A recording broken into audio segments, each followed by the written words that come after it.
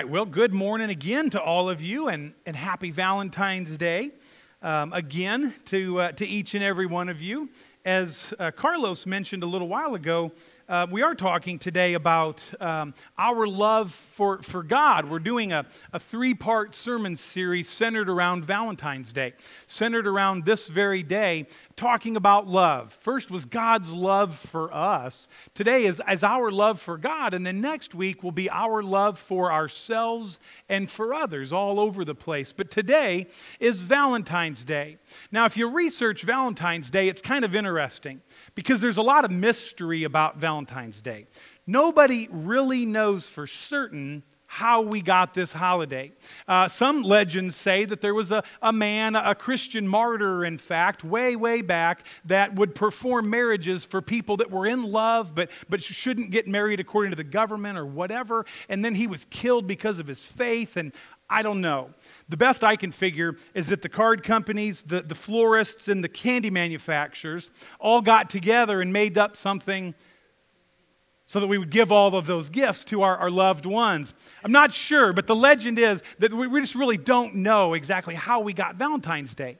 But what we do know is that now we have it, February 14th, each and every year. And Valentine's Day is all about love. That's what this day is all about, expressing our love for our loved ones. And so today we're going to be talking about love in general. And, and, as I mentioned last week, there's such, such mystery about love itself. We, we just can't really comprehend love. And I believe that there's a lot of misunderstanding, a lot of misuse of the word love out there all across the world, and probably especially here in America, because we don't have many words to describe the love that we are feeling. So I think it's just one of the, ma- the major misunderstood words out there. And attributing to that factor is a misunderstanding of, of God's love for us and a misunderstanding of, of our love back for, for God. And I think when those are, are blurred and not as clear, we just don't understand the concept and idea of love in general. Now, I know in Teresa and I's case, when, when we got married, she was a born again believer, and I, was lost. I didn't know who Jesus was. I didn't know that I needed him as my Lord and, and Savior. And so when we got lost, we had completely different values in life and, and especially towards God. Um, so then fast forward a, a, couple of years, and, and I came to put my faith and trust in Jesus Christ. And boy, I was radically changed. The Bible says I was born again and made a brand new creation. And I lived it. I experienced that. I truly was. But I still was very young and immature in my faith. And I was young and immature just, just as a man. And you can ask Teresa, um, I, boy, as I grew in my faith, I matured a lot as a man also. And the cool and wonderful thing about Jesus is the more we put our faith and trust in Him, the more we grow in our maturity and our understanding of who He is and what He's done for us, the more we mature in our life also. And one of the greatest things that we experienced in Teresa and I's marriage was that the more mature I got as a follower of Jesus, the stronger my love was for my wife and for my family stronger and stronger and stronger. And it, it's just absolutely amazing. The more I love God, the more that He, I realize how much He loved me, the more I love my family and my friends and, and, and everybody. So it's just kind of a, you understand one, you begin to understand the other one, and they all work together to create a great love that spreads, spreads all over.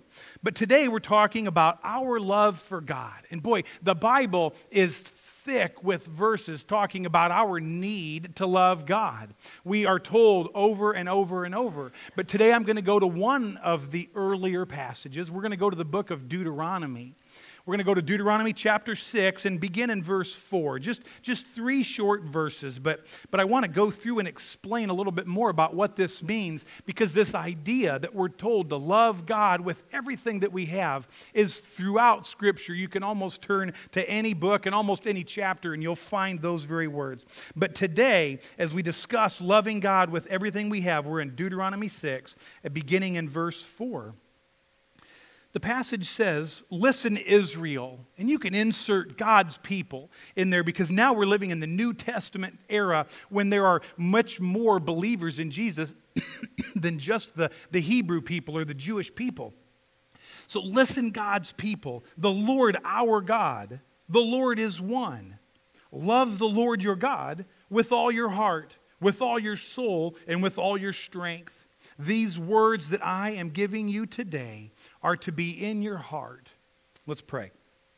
Most gracious and loving Heavenly Father, we bow our heads before you this morning, recognizing that you are the one true living God and that you have proven your love for us.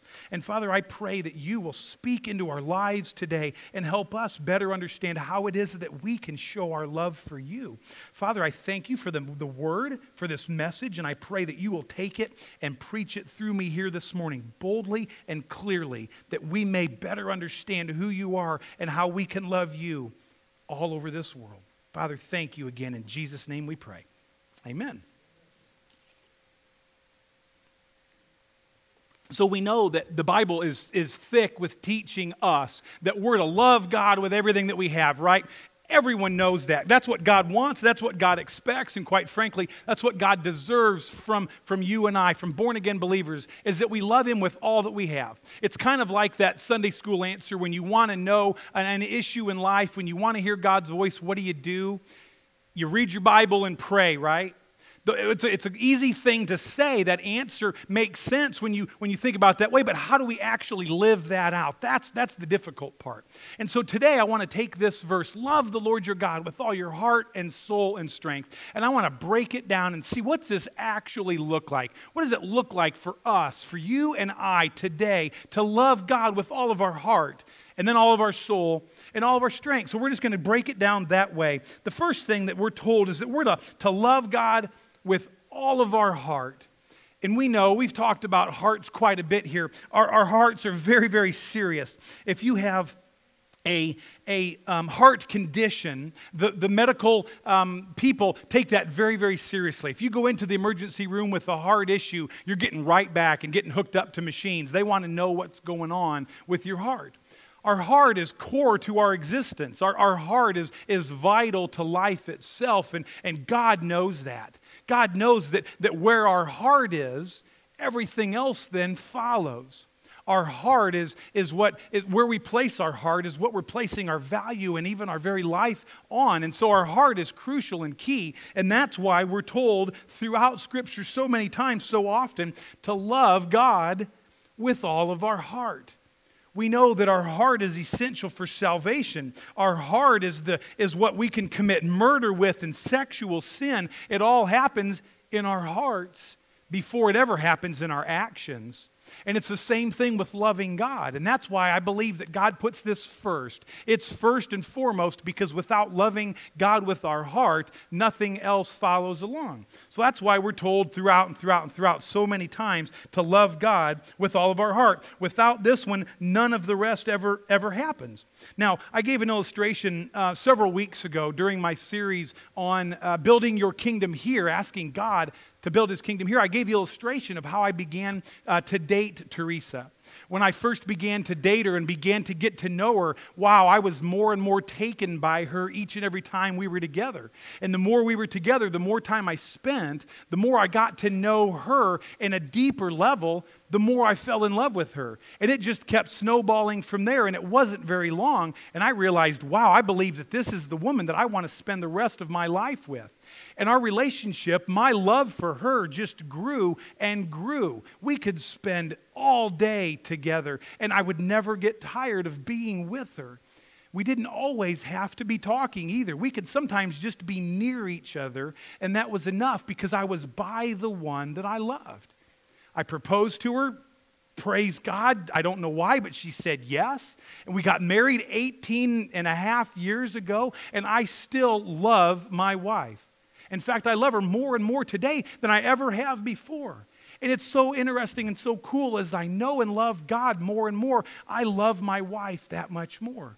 I love my family. It's just such a snowball effect. But like my relationship with my wife, like it was when we were dating and getting to know each other, the more I got to know her, the more I loved her. And the more I loved her, the more I got to know her, and the more I loved her. And it just kept growing and building from there.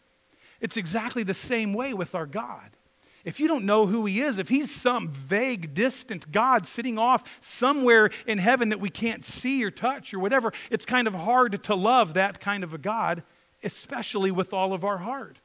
And so, the way we do it, the way that you and I can love God with all of our heart, is we get to know him. We get to know Him and we spend time with Him. Sometimes talking, but a lot of time just listening, getting to know Him through worshiping Him and praising Him and reading His Word and, and praying to Him, just spending time together. That's the way that it works. That's the way we get to know, to know Him.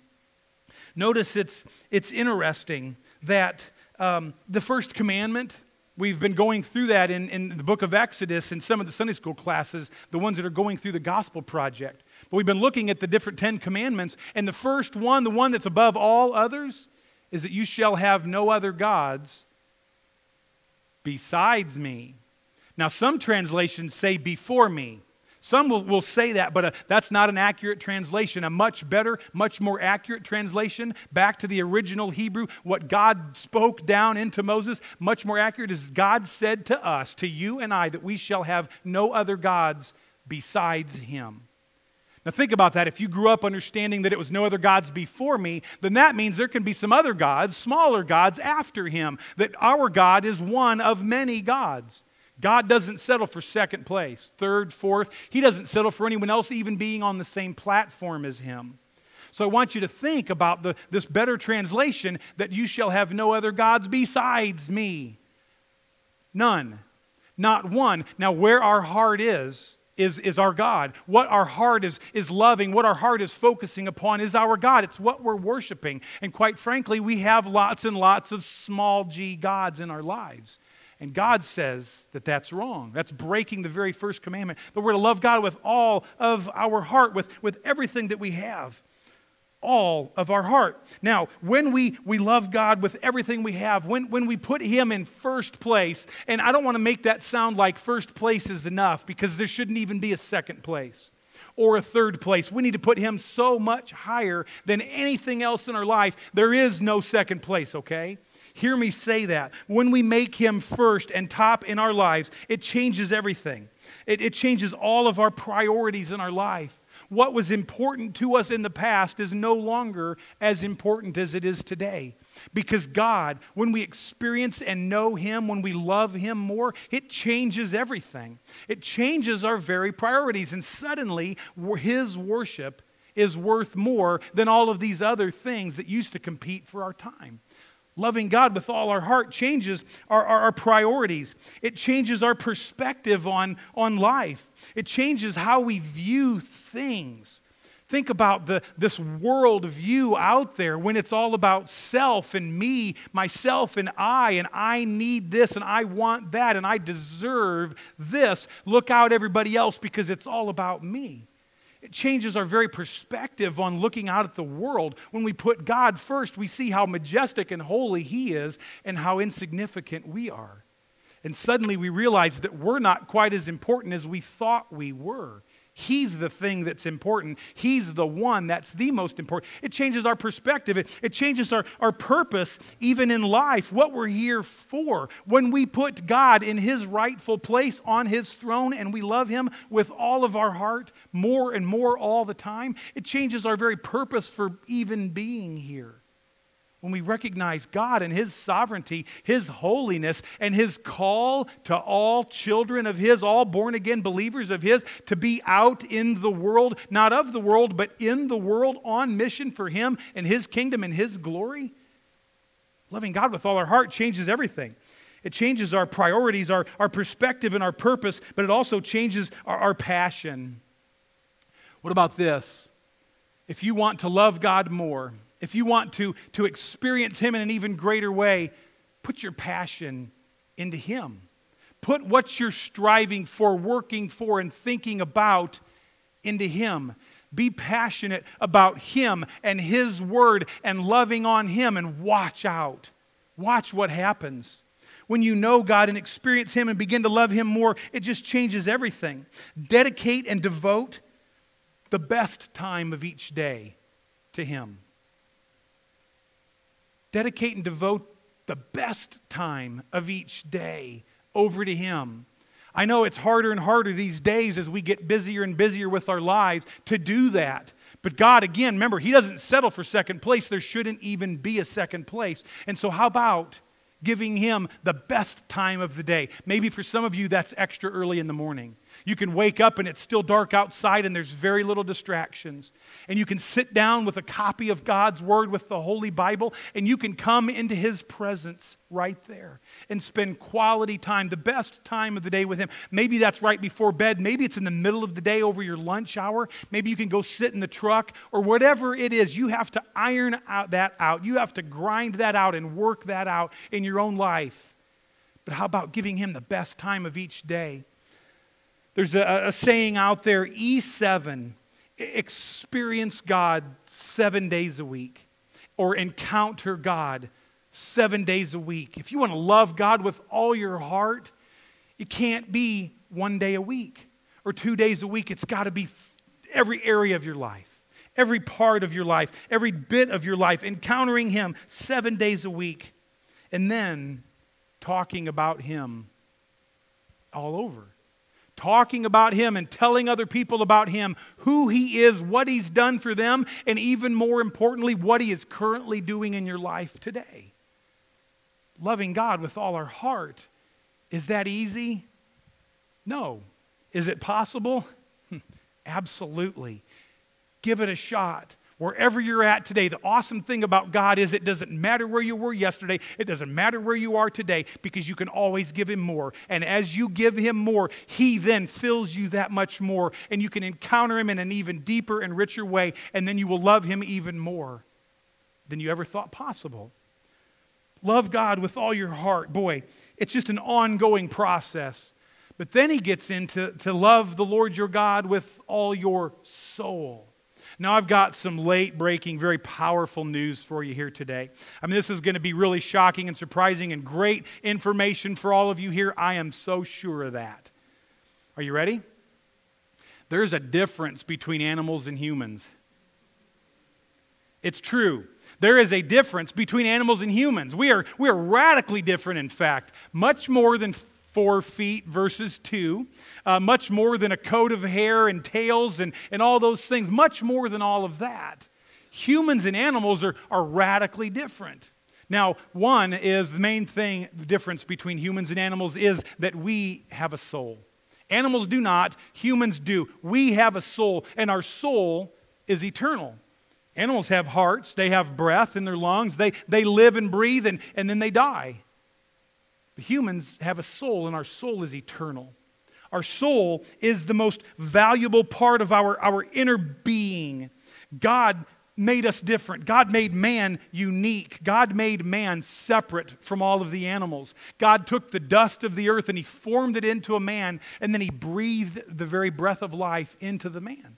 The animals, he just created them and they were there. He can do that. But man is so unique and so special. We are the crowning jewels of his creation. And get this God made you and I in his image.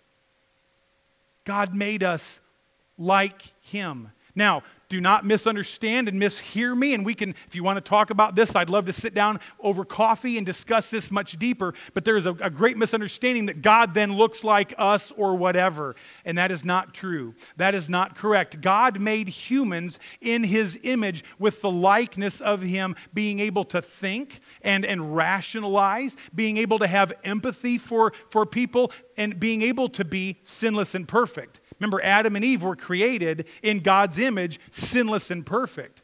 However, they also had free will. And when tempted by the enemy, they, they succumbed to that temptation and fell and sinned, whatever, and broke the relationship. But still, God created man in his image, like him. Likeness is like him in our nature, not in our physical presence. Jesus changed form when he came down to be like a man fully man and fully God all at the same time. But anyway, the difference is that we have a soul, and our soul is eternal. Our soul is, the, is a valuable part of our inner man, our, our inner being. But God, He wants us to, to love Him like He loves us. And He loves us with His very soul. He loves us with his greater, more valuable inner being, and he wants us to love him with our greater, more valuable inner being, with our eternal souls. God wants us to pant and pursue him with everything that we have.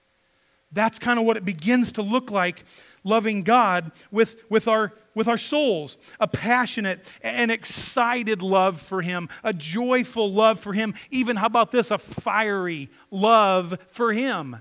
God wants us to pursue Him and know Him with every ounce of our inner beings.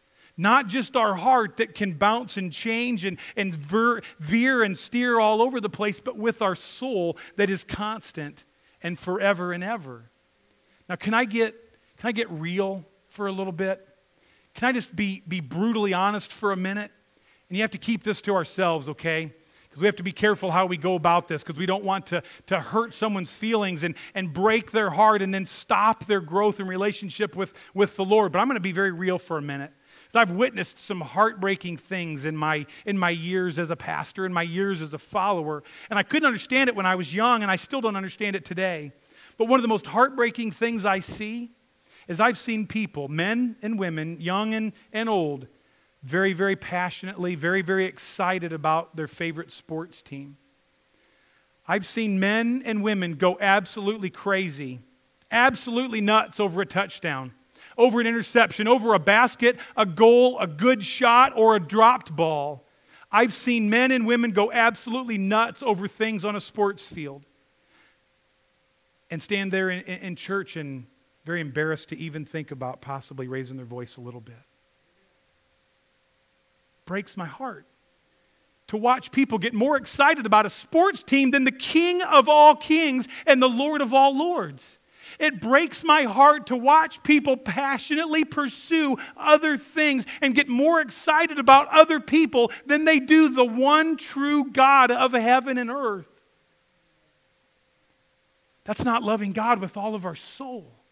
It breaks my heart to hear people talking back and forth, believers talking back and forth about statistics that make my head spin.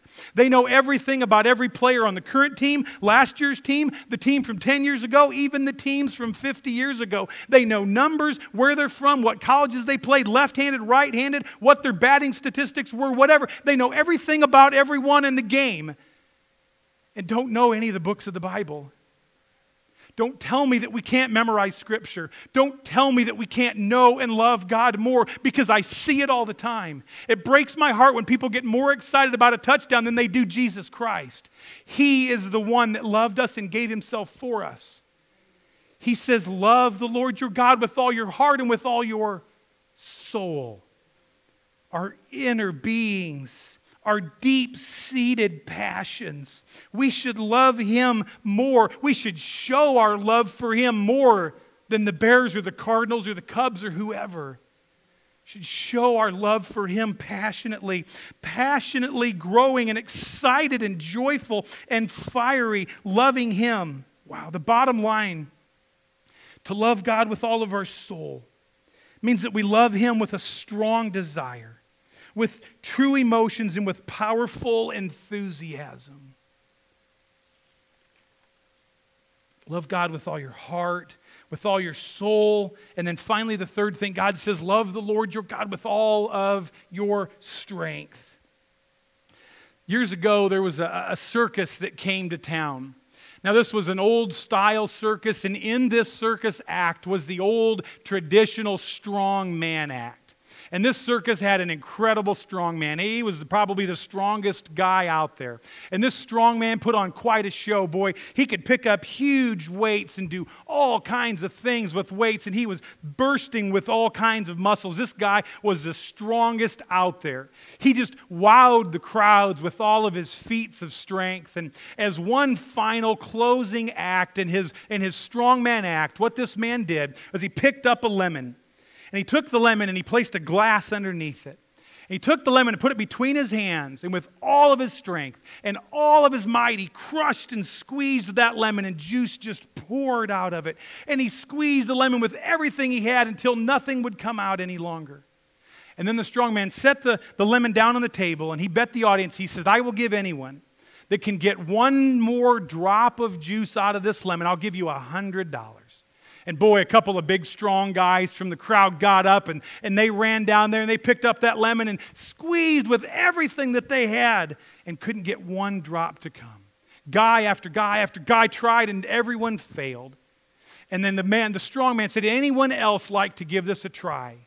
And in the back, this little elderly man wearing glasses and suspenders, he got up from the back and he slowly made his way down. And everyone thought, now, who is this little bitty, tiny, elderly man? What's he possibly going to do? How could he get anything to come out of that lemon that these other more powerful men did? And so this little man came up on the stage and he picked up the lemon and he kind of looked it over. And he put it between his small, thin hands. And he began to squeeze that lemon. And wouldn't you know it, but a single drop of lemon juice came out of that lemon. And the strong man's eyes just bugged out of his head. He couldn't believe what this little tiny man had done. And the strong man picked up the $100 and he handed it to the guy and he said, Sir, I have to know, how is it that you were able to do that? Where do you get your strength from? How could you squeeze that final drop out of the lemon? And the little man looked up at the giant strong man and he said, Well, sir, says, I've been the treasurer of my little tiny country church for 45 years, and I've learned to squeeze the last penny out of every single dollar.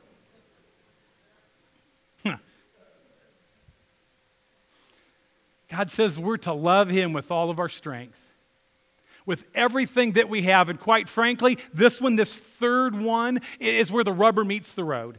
This is where our actions speak much louder than our words. If we love God with our heart and we love God with our soul, then our strength will automatically follow. This is kind of the proof that is in the pudding. As I said, this is where the rubber truly meets the road. Here's where, where it all really, truly happens. This is where our love for Jesus motivates our lives. This is where we use our strength and our gifts for His service. If we're to love the Lord our God with all of our strength, this is where our life shows it and proves it with the things that we do. Now, those of you that were able to make the uh, Metro Peoria board meeting on Monday night, uh, Carmen Halsey did a phenomenal job of speaking and, and speaking some truth into all of us, women and men. But one of the things that she said and reminded me of what Dr. Joe Gardner has said before, and he's got a great illustration for contrasting chores and work. And Carmen, that she heard him say that down at Macoupin Baptist Association's annual meeting a couple years ago. And what Dr. Joe said really made an, an impact in Carmen's life. And now as she travels around, she shares with other people because I think that we've all fallen into a trap of confusing chores and work. And I'm not going to steal Dr. Joe's illustration, but, but the bottom line is that, that out on the farm, you have to get up early, bright and early, before the sun comes up, and go out and you've got to gather the eggs and feed the pigs and feed the cows and do all of those things that you have to do. And then you come in and eat breakfast. And all that work that went on to maintain the farm, all that was was chores. That was just keeping the farm going, keeping everything going along smoothly. And then after breakfast, that's when the work starts. That's when you go out and actually do the things that you have to do to be able to provide for your family, to be able to grow the, the, the, kingdom, grow the empire that you're creating. That's the difference between chores and work, maintaining versus doing what, what, what is extra and on top of all of that. And I think that we in the church have really gotten confused in our service for the Lord and in getting confused between chores and work. Now, we need people to do things here. We have to have people that are willing to come in and serve and, and paint and clean and, and, and update things and keep up with the times. We have to do that. But don't fall into the trap of thinking that that in itself is service for the Lord, is using your strength for Him. Those are chores. Those we, we have to do to maintain our building. That's not the work that He has created us to do. The work that He has called us and created us and charged us to do is serving Him and His kingdom all over the globe. And He put it quite simply we're to make disciples. To make disciples that make disciples. And that's a huge process, I, I, understand. But it begins with us being faithful and telling people about our passionate love affair with Jesus Christ because of who He is and what He's done for us. We can't fall into the trap of confusing chores and work, God created us for much more than this. He created us for such a time as this to make an impact in this lost, dark world for Him and for His glory. Jesus puts it quite clearly and quite frankly. He says, A bad tree cannot produce good fruit, and a good tree cannot produce bad fruit. And then he says, You will know them, you will know his followers by their fruit by their service, by their work, by us using our strength for Him and for His glory. He says, You will know them by their fruits. There will be no question who it is that loves Him with everything that we have. And then James tells us a very familiar verse. He says, Faith without works is dead.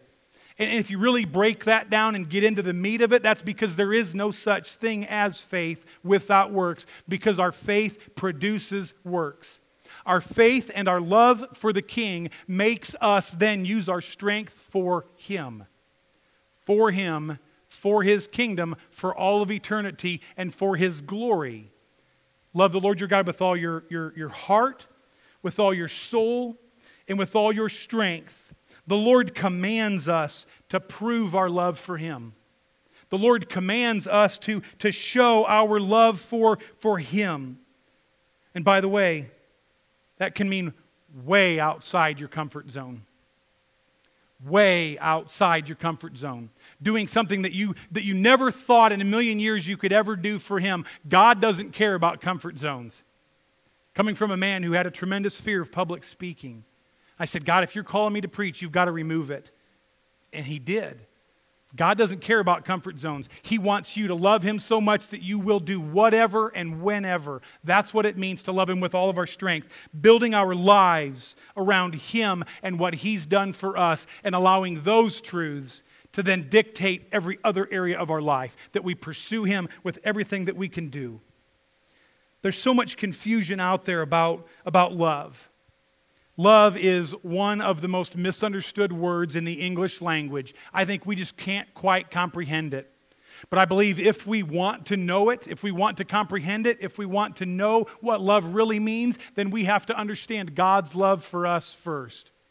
And as we know and understand God's love for us, it helps us then to love God more and more, to love Him with all of our heart and soul and strength now. That misunderstanding of love it goes into all areas of our life. That means we can't quite understand what it really means to love our parents and to love our children and our grandparents and to love our neighbor as ourself. I think those lines are blurred. But again, when we understand God's love for us and then we start to love Him more and more, it makes love become alive. And then that filters down and permeates into every other area of our life. That's what we're going to be talking about next week. What's it mean for us to love ourselves and then love others like ourselves. That's next week. Join me in prayer. Father, thank you again for this, this great day to gather here to today and to praise and worship you because you are truly worthy. And Father, I pray that you will take this truth of what it means for us, each and every one of us, to love you with all that we are. And I pray that through this we would grow in our love affair, our love relationship with you, because you truly are worthy. So, Father, continue to grow us and mature us, mold us and shape us to be more like Jesus each and every day. And Father, continue to use us for your glory. May hearts and lives be changed. Father, we pray all this in Jesus' name. Amen.